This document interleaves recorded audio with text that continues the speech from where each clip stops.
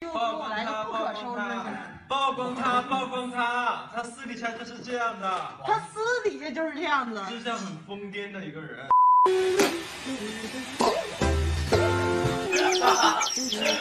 曝光他，曝光他，曝光他，曝光他，曝光他，吴嘉诚，曝光他，就是这样邋遢的人。呐，这就是我们家乡。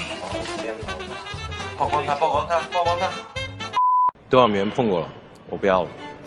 这个也碰了。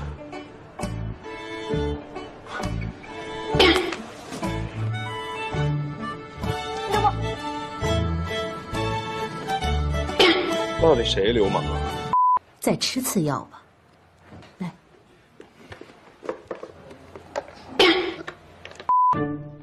你这右手哪儿去了？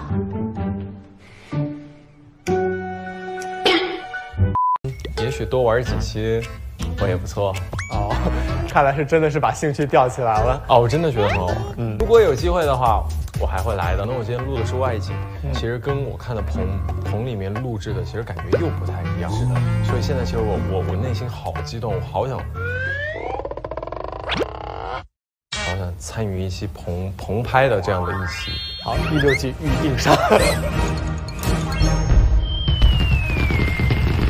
对别人。曝光他，曝光他，曝光他，曝光他，曝光他，曝光他，曝光他，曝光他。肖战对自己。公司是公司，公司说，剪掉，剪掉。我现在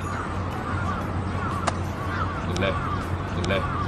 开玩笑，剪掉，剪掉这句。以后想挑战一个 BT 的 杀手。哎，我还是把两个字说出来了，逼掉，逼掉，剪掉，剪掉，剪掉，剪掉这句。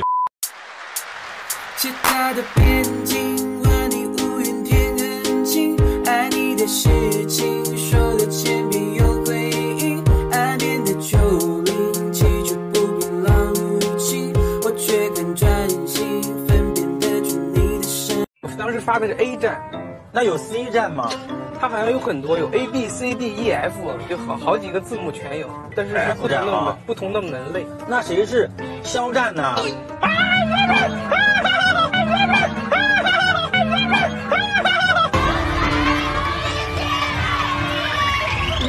演什么角色最具有挑战性？跟我反差比较大的吧，斯文但是又有一点累的，在列车上面很斯文的一个凶手。